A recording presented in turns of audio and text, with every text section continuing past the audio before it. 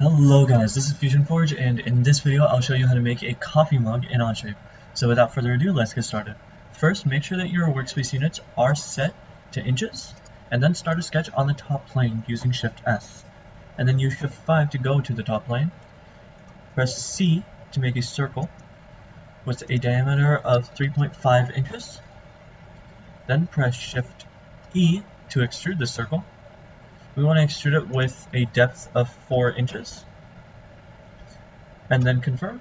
Press Shift 7 to make sure that it extruded correctly.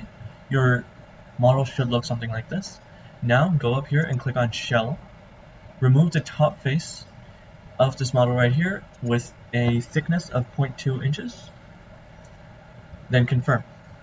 Now as you can see this is going to be the main part of our mug and we want to make the thickness whatever we can to make sure that the handle does not extrude past it. Now, start a sketch on the right plane using Shift S, and then use Shift 4 to go directly to the right plane. Zoom in on the top right here. Press A for a three-point arc. Click up here, and then click down here.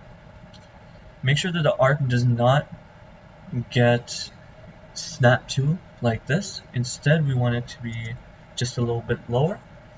And this arc should have a radius of 1.2 inches. Now we want to dimension this arc, so press D for dimensioning. Click this bottom point, and then click the bottom line. This, These two should be 1 inch apart.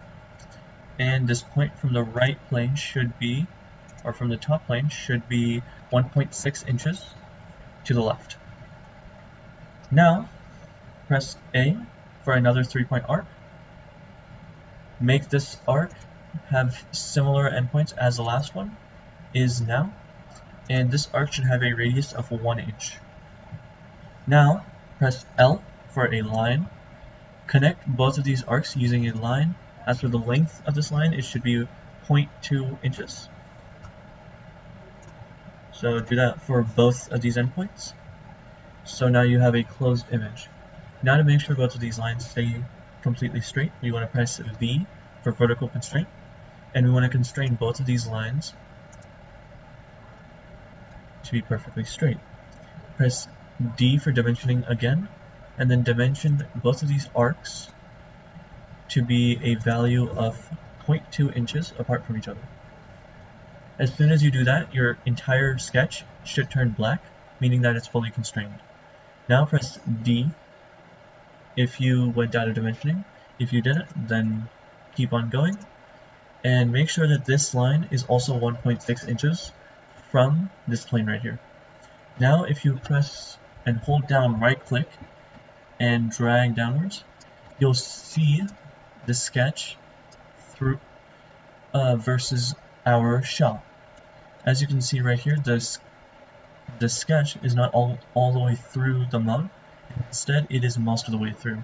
This is going to make sure that we don't accidentally go over our extrusion and it would just create more work for us later on. So now that you have that confirmed, press Shift E to extrude this. Select on symmetric extrusion, making sure that the depth is equally uh, distributed both directions. And for the depth, just select 0.4 inches for a nice mug-like surface, or handle. Now, we want to fillet this. So press Shift F. So we fillet to, and, uh, to add these rounded edges to our design to make sure that it doesn't look nearly as severe as it would without them. Now, to make the job a little bit faster, click on faces to extrude all of the lines associated with said face. And then click on the separate lines that you can in include in your face select. Now we want to uh, fillet this handle by a value of 0.05 inches and then confirm. Now we want to fillet this mug, the edges of this mug right here.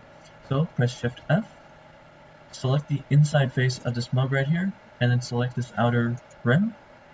We want this radius to be 0.1 inches, to make sure that it is completely round, completely smooth, so that when if we're drinking out of this mug, we our lips don't get caught on anything. So now that we've confirmed that, you have a nice coffee mug. That is perfect. Now, please remember to like and subscribe, and have a good day.